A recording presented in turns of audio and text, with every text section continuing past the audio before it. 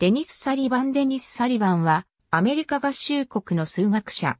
ミシガン州ポートヒューロンに生まれ、1963年、ライス大学卒業、プリンストン大学在学中の1966年に博士号を取得した。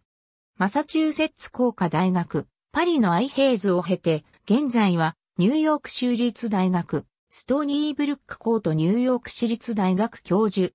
専門は、複素力学系、複素幾何学。サリバンの辞書は、複素力学系とクライン群の類似に関する辞書で、複素力学系における哲学的役割を果たしている。